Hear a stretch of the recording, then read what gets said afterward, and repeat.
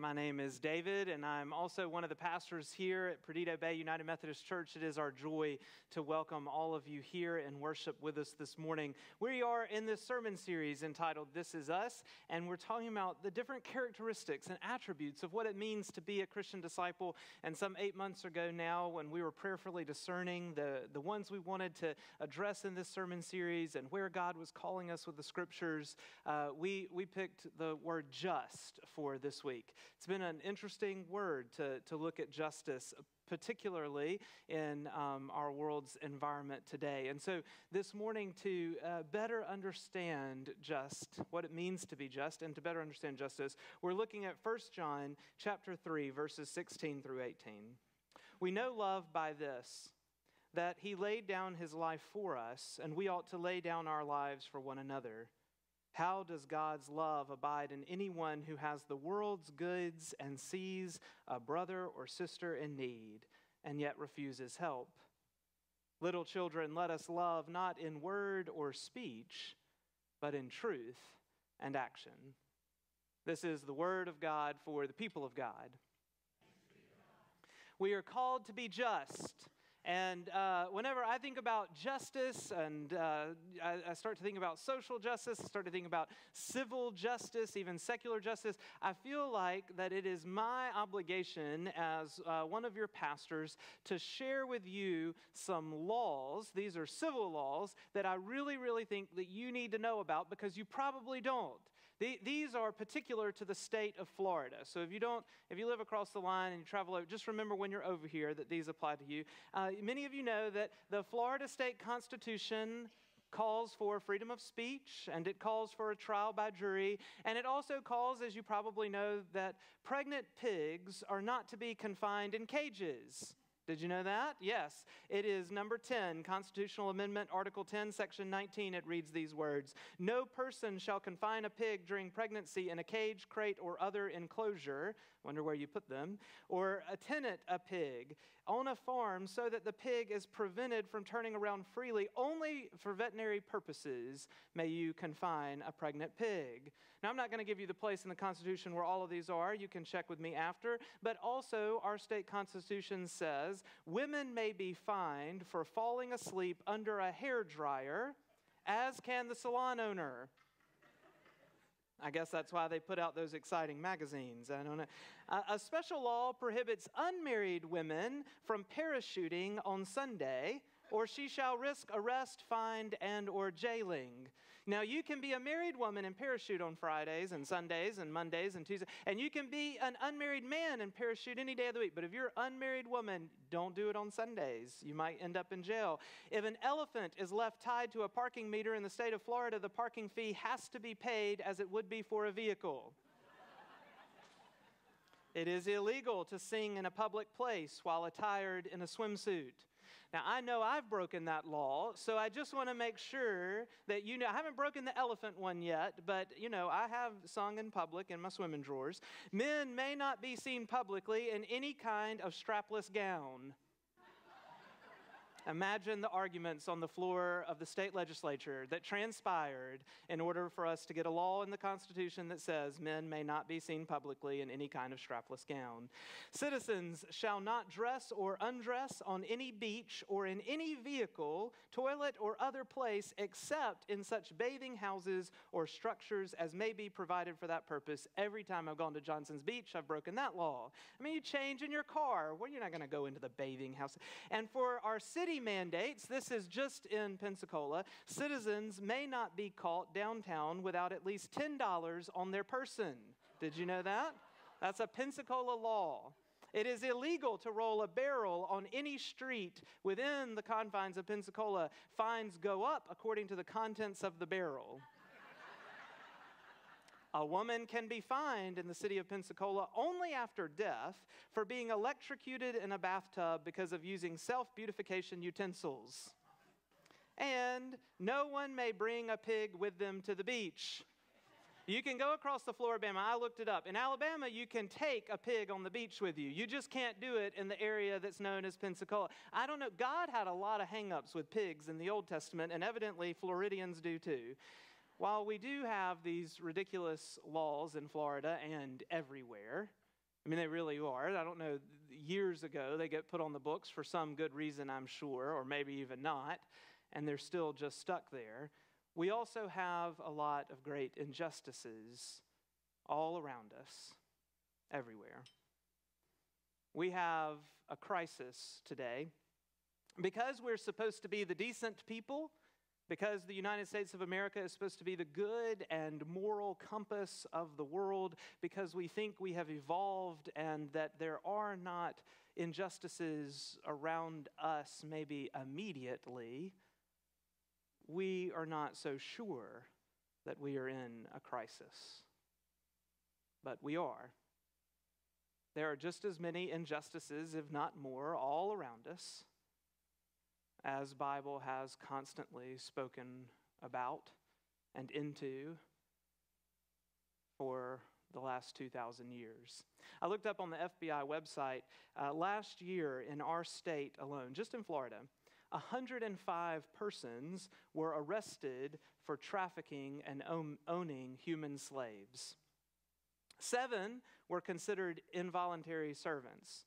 98 of these uh, persons were owning humans and trading them in the commercial uh, sexual business.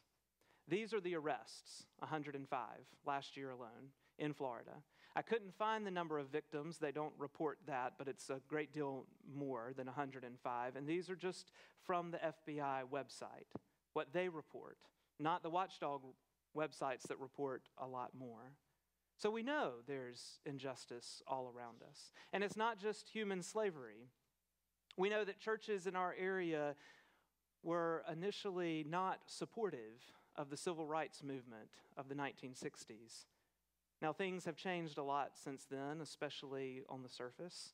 We've integrated our worship spaces, and we have African American and Korean American and Hispanic American pastors that are serving our churches. But deep down, have things really changed?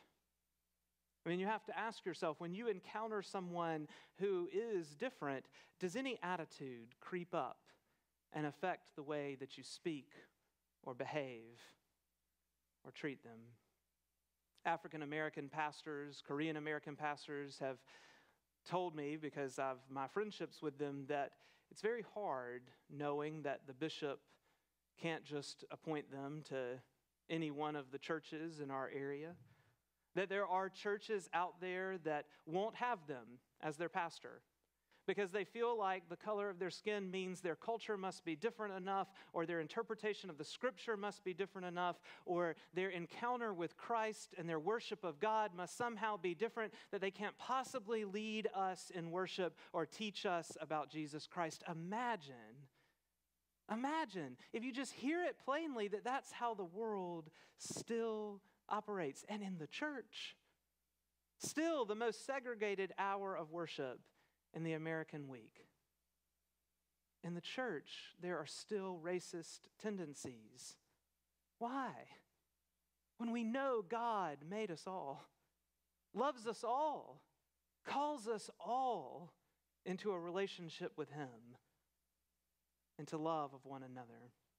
Here, just in our own backyard last year, the FBI says there were 43 victims of racially motivated hate crime, 19 victims of religious motivated hate crime, and 32 victims of hate crime because of sexual orientation. In many of these instances, it resulted in death because of hate. And it is very hard for a crime to be named a hate crime by the FBI. And these are just the ones, again, in one year in our state. That, that people are actually exercising hate to the point of taking someone else's life. 43 people were killed last year because of the color of their skin.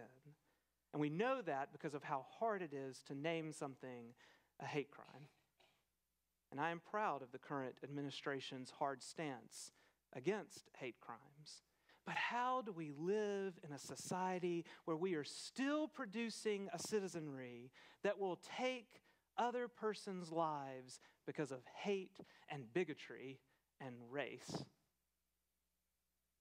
Human trafficking and hate crimes are just two of the injustices out there. That's before you even talk about poverty, education, a failing uh, foster system, the criminal justice system, our healthcare system, children who are trapped in impoverished lifestyles. And you know, it's children that are always the worst victims of injustice. It's children who are the voiceless masses that become the first to be abused and the first to be used, the ones that Christ called unto him, the ones whom God, since the beginning of monotheism, has been saying, take special care for the orphan, for the widow, and for the alien. In the face of all this injustice, where do we turn? Isaiah faced an injustice in the land. And he says in Isaiah chapter 59 these words Justice is turned back, and righteousness stands at a distance. For truth stumbles in the public square, and uprightness cannot enter.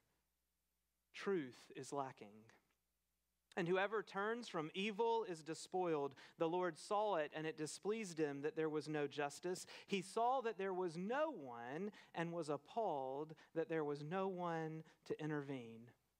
You know, what's interesting to me about this Old Testament passage of Scripture, really all of them about justice, and the New Testament passage of Scripture that we read at the beginning of the sermon, is the focus on truth.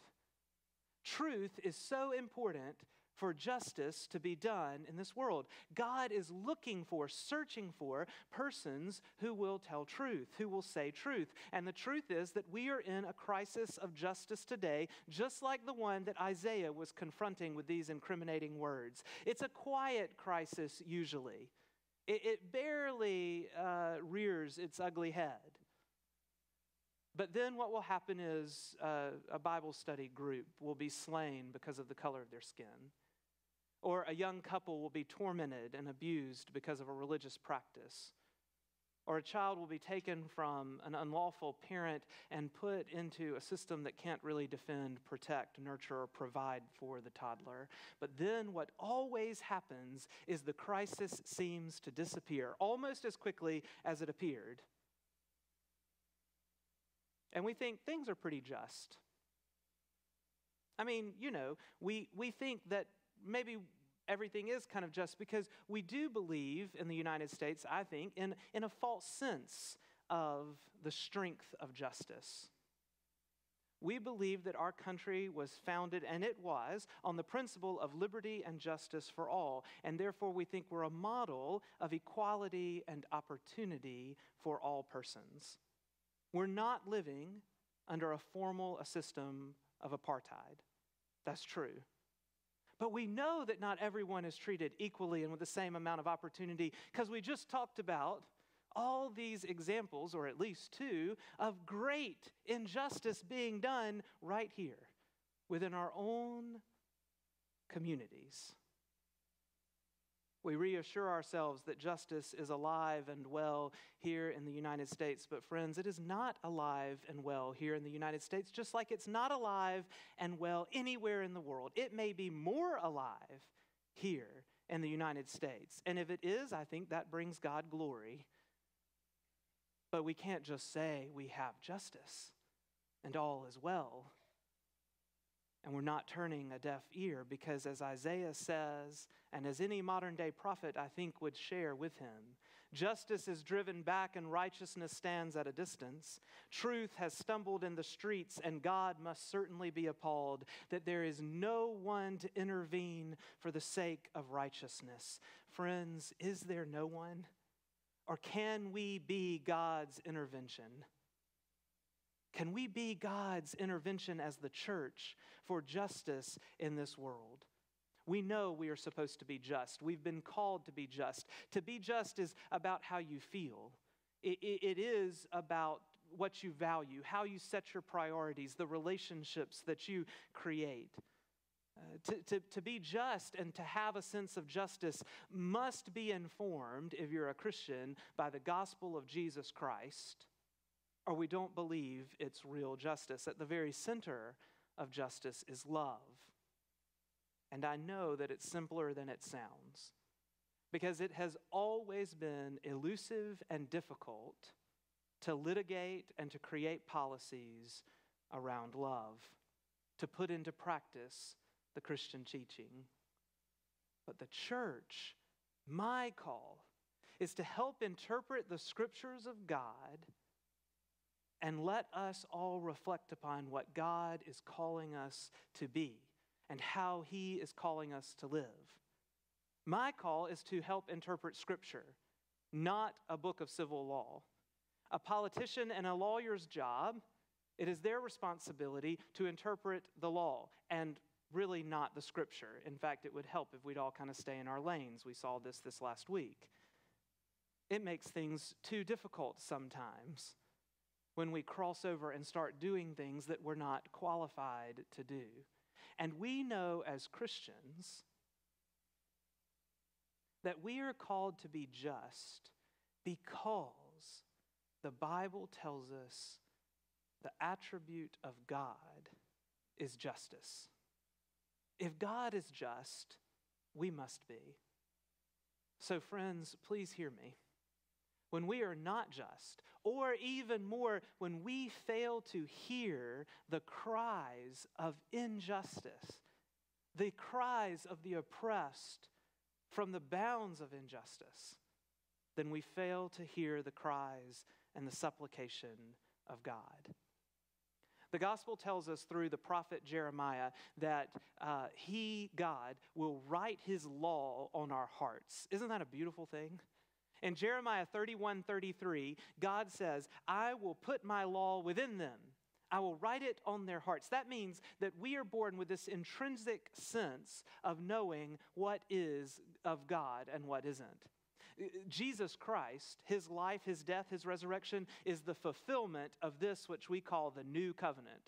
This is the new covenant a, covenant, a promise, a law, a, a love that is written upon our hearts. So we know what is just and, and what is unjust. We know what is right and what is wrong. It's there. But you see, what happens over time is our justice monitors, if you will, they're marred by sin, just like the rest of us.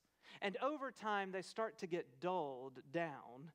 And it's harder for us to see and hear and recognize injustice. In fact, uh, it, it, to me, it's a lot like this. You, this is an Apple Watch. I have one of these things. I'm going to blame Levi for it. Um, but anyway, um, it, it, it has this thing called a haptic. If you don't know what that is, it's a fancy word for a vibration. And uh, anytime I get a phone call or a text message or an email or my watch thinks I need to stand up, it, it buzzes my wrist.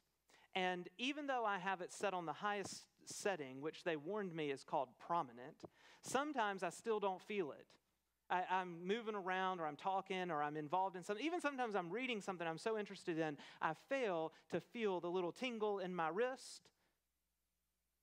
And I think that that's kind of like how my justice monitor that God has put within me is. I mean, I see and I hear and I observe acts of injustice all over the world. And maybe it's because there are so many and they're in so many places that for me it's just kind of like a tingle on my wrist. I look down and I see a news story about another school or church shooting. I see a news story about an act of gang violence or some culture somewhere in the world where another culture has just killed everyone because they're different and I flip to the next story or move on to the next thing. I may say a prayer, I usually try to. I get a little bit of moral outrage, but just a little bit. It's more like a frustration. I wish that we weren't in this fallen and evil world. But does anything really change? Now, let me tell you something, friends. If someone does an act of injustice against me, Oh, I feel it. That is like a fire alarm going off in every bit of my body. If someone does an act of injustice against me or someone I love that I'm in close proximity to, I feel it everywhere. And I'm talking about minor things compared to what people are suffering in this world. If someone offends me with their rudeness or their callousness, if someone accuses me of doing something wrong that I know I don't think that I did wrong, if somebody says, you know, that sermon was worthless, I want justice. I want it now. I feel like I um, owed it. I feel like I deserve it. And I will do everything in my power to get myself justice. You see, what we owe Jesus Christ is for our monitors to be recalibrated so that when we see the pain and the suffering and the oppression of humankind in this world, it affects us a little bit more, a little bit like it affects us when we experience pain and suffering and oppression in our own lives. Our justice monitors need to be recalibrated. I want you to ask yourself how finely tuned, how sensitive would you say you are to acts of injustice? To use God's language, how finely tuned or sensitive are you to acts of injustice against widows and orphans and aliens? To use Christ's language, how finely tuned and sensitive are you to acts of injustice against the least among us? One of the first Bible verses I ever learned was Micah 6 8. We have it hanging in our kitchen because I really want to instill it in our children's lives, Elizabeth and I both. He has told you, O mortal, what is good, and what does the Lord require of you but to do justice, to love kindness, and to walk humbly with your God. I know there's a difference between secular justice and biblical justice. I know that secular classical justice has to have a profound legal flavor. That in order to order society, we have to have uh, laws and policies. But I also believe that those laws and policies can be moral, can express righteousness and it is the job of the church to help influence the citizenry to be moral and to be righteous so that those who are writing and influencing policy might influence it for righteousness. That is biblical justice. Biblical justice is when God works to heal relationships, to redeem and heal communities and nations and the world. The most obvious difference, I think, between secular justice and biblical justice is just the way we talk about it. In the secular world, we talk about people getting justice. In the Bible, you never hear language like that. In the Bible, we are taught to do justice. To do justice. Beyond Micah, who tells us that, the Proverbs teach us that doing justice is more pleasing to God than even a sacrifice. It involves our personal and our communal lives. At the very core of justice is the love we read about in our passage of Scripture love that compels us to truth and to action. Because love expands our hearts. It heightens our sensitivities, it broadens our compassion. Therefore, if we exercise love, justice will naturally follow in its wake. And again, I know it's easier said than done. In fact, if it was as easy to do love as it is for me to say we should do love, I don't think that for the last month we would have had the problems we have had at our border.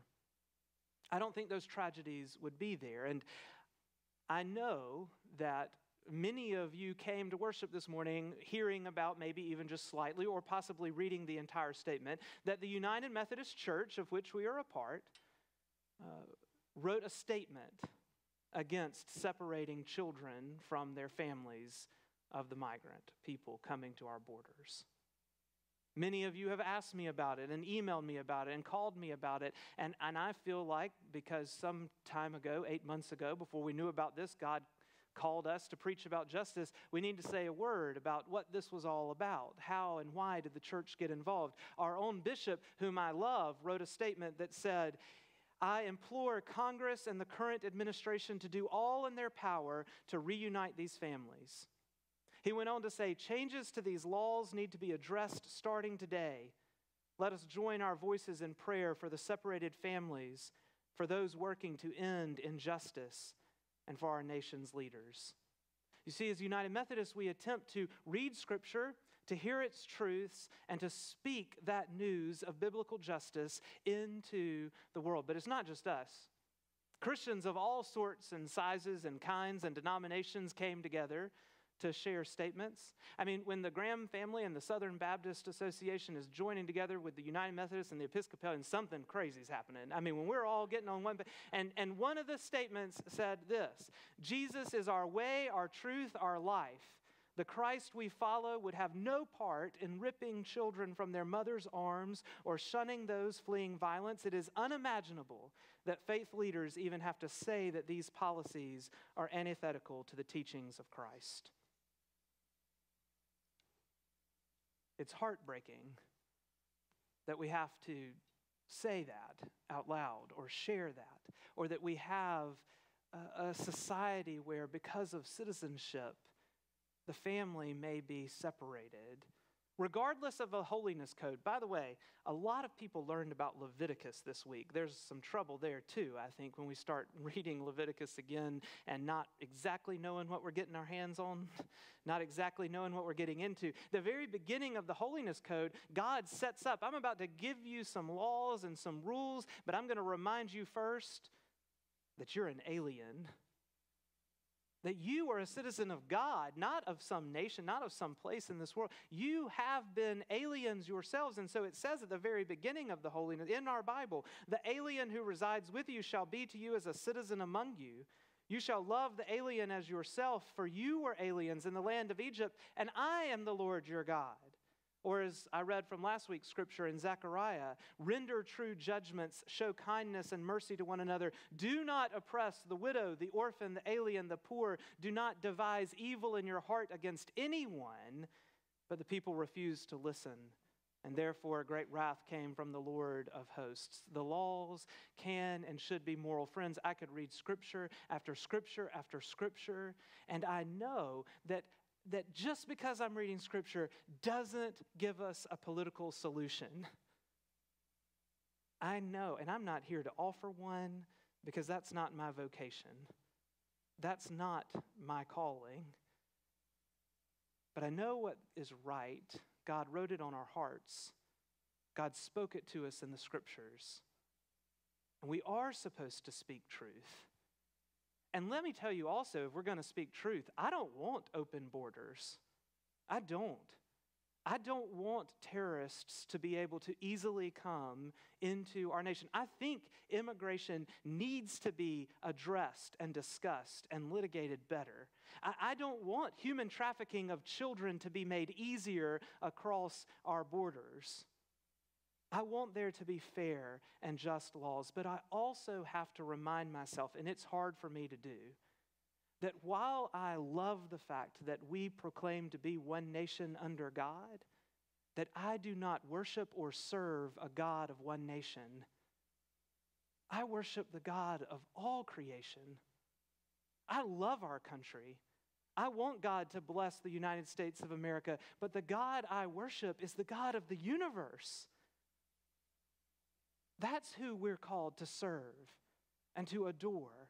I praise God that my great grandfather, Joseph Elias Saliba, a man I knew and who I sat with even at his deathbed and heard this story, was 15 years old and was put on a boat by his mom and sent to this country with his 14 year old arranged wife to try to make it into the country under political asylum. His name isn't added Ellis Island, it should be.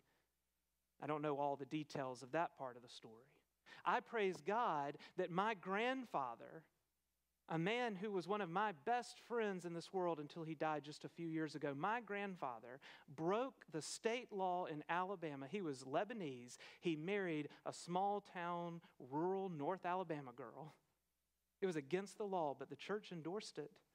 The church blessed it, even though they knew they were breaking the law, inter- interracial marriage. I don't exist if my great grandfather had not gotten asylum in this country. I don't exist if racism had won instead of love. I don't exist if biblical justice had not prevailed. And maybe you're thinking, I shouldn't exist. but I do. And the church stood by these persons who were feeling this injustice and said, We bless what you're doing. On Wednesday, the authors of the policy that separated children from their parents at the border revoked it due to all kinds of pressures. One of them was the church, they even said that. They insisted that the policy was used as a deterrent to crime. I think we should do a lot to deter crime, not at all cost, but a lot.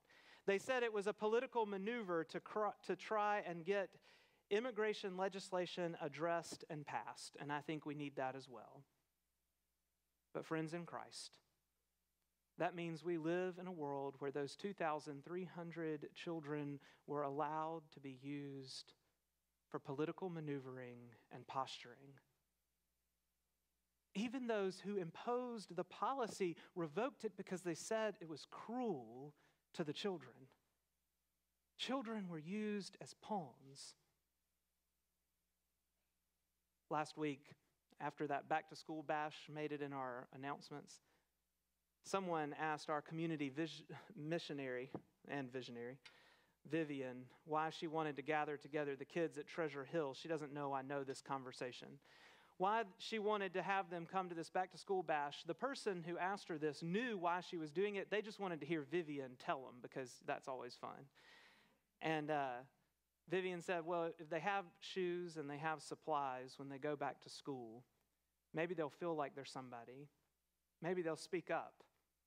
And I want to give the children a voice. If God's written it on our hearts, the ability to detect injustice and love and to do justice, surely we know when something is not just. I know I've preached enough, but I just have to name one pitfall that's big and real. When we get into translating biblical justice into social justice, there are a lot of pitfalls, but one of the biggest is whenever we assert that one group is the instrument of God's righteousness and the other is not. We see this played out on the political stage every day of our lives, and it is wrong. A political party, either one or group, cannot claim to be the instrument of God's righteousness. The Bible refers to that as blasphemy.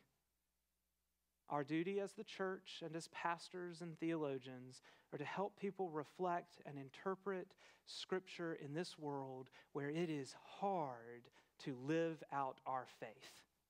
I acknowledge that. It is hard to live out the faith of Jesus Christ in this world, but it's not too hard because disciples have been doing it faithfully for 2,000 years. John Wesley, the founder of Methodism, once said, Though we cannot think alike, may we not love alike? May we not be of one heart? Though we are not of one opinion, without all doubt we may. Herein all the children of God may unite, notwithstanding these smaller differences. So, where do you begin when the sermon's over? Where do I begin if I believe all this that we just said? And remember, this is theology a la David Saliba. but I think my best interpretation of Scripture, where we begin if we want to be just, is with ourselves. Because social justice, real justice, can only be known in this world from people who are founded in personal righteousness. Where we begin, throw yourself on Jesus Christ, on His teachings, on His life, on His example. Surely, as the church, we can all agree on that. To place ourselves in the teachings of Christ so that what we learn in His life may emanate outward from our lives that will help us to not just talk about love, but to, as our scriptures implore us, to live love in truth and in action. And when we do that, friends, Amos's prophecy will be right. Justice will roll down like waters and righteousness like an ever flowing stream. Not a little bit of trickle and a little bit of sprinkle over here of kindness and a little bit of love and just a tad bit of justice. No, no, no. The church is called to be an ever flowing stream of righteousness and justice. That doesn't stop. Ever flowing stream. When we are living into the commands of God and treating our uh, neighbors, as ourselves, when we are loving God and loving one another as Christ has called us to, then we will be that ever flowing stream of justice. And we will know, we will know that justice is blind to color and ethnicity, that our courts will be more fair that people who are seeking and willing to work will be given that opportunity, that we will care better for this earth and for all the children here in it. And friends, this is what will happen if we become the ever flowing stream.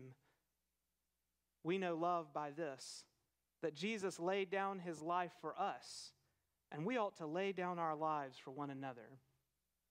How does God's love abide in anyone who has the world's goods and deeds and sees a brother or sister in need yet refuses to help? Little children, let us love not in word or speech, but in truth and action. In the name of the Father, and of the Son, and of the Holy Spirit. Amen.